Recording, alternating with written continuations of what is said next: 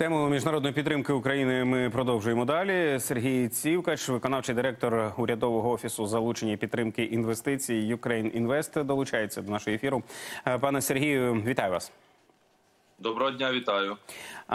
Прямі іноземні інвестиції в Україну за січень-березень перевищили півмільярда доларів. Ем, На вашу думку, наскільки цей показник обнадійливий у порівнянні з попередніми періодами? Це дуже позитивний показник. Звичайно, це попередні цифри, тому що вони взяті з платіжного балансу. Ще буде уточнення.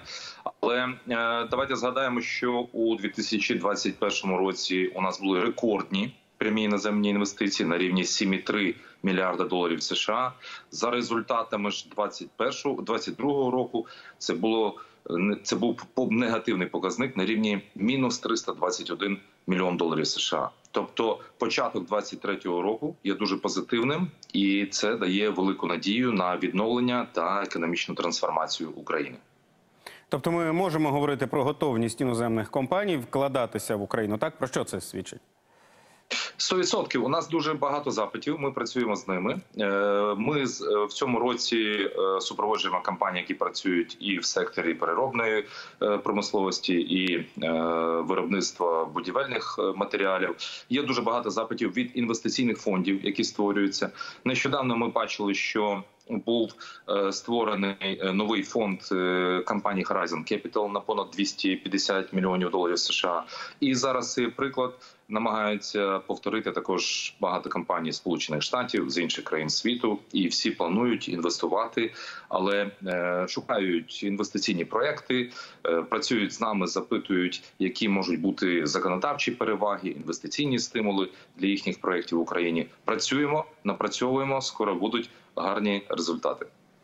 А які власне законодавчі переваги є е, для для інвесторів? Є ціла низка переваг. Е, Наприклад, це звільнення від податку на прибуток до 10 років для інвесторів, які будуть працювати в індустріальних парках.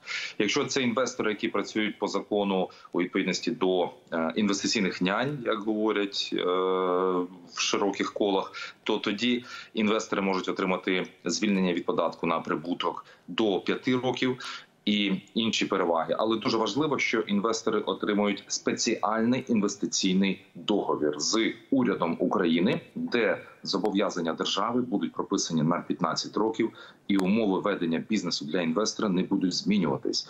Це дуже важливо, тому що інвестор розуміє, що він заходить в країну стабільне. е, Середовище регуляторне, і він може довгостроково планувати зараз. Станом на сьогодні у нас таких вісім проєктів розробці. Ми готуємо заявки, і подаємо до міністерства економіки на суму понад 1,1 мільярда доларів США. Скажіть, а чи є випадки, коли інвестування в Україну це не просто бізнес, а це прояв підтримки у війні проти Росії?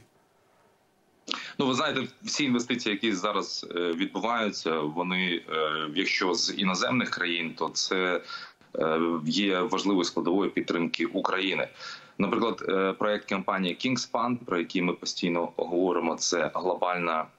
Компанія, яка працює в понад 70 країнах світу, вона однією з перших вийшла з Росії і першою оголосила значний інвестиційний проект на суму понад 250 мільйонів доларів США е, в Україні, і вони не тільки е, намагаються сприяти розвитку економіки України, вони також назвали свій проект Сірше. Сірше в перекладі з ірландської мови означає воля. Тобто вони показують також і е, такий е, емоційний, е, знаєте, меседж для України, для світу про те, що вони підтримують нас в цій боротьбі проти агресора. А чи багато власне таких компаній, які покинули Росію і зайшли на наш на український ринок? Ну поки що ми їх можемо порахувати на одній руці. Kingspan – це типовий приклад.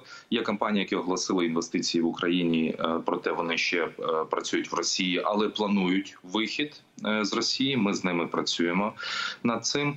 І в нашому переліку зараз є понад 70 компаній, які зупинили. Інвестиційні плани в Росії, але ще не оголосили про інвестиції в Україні.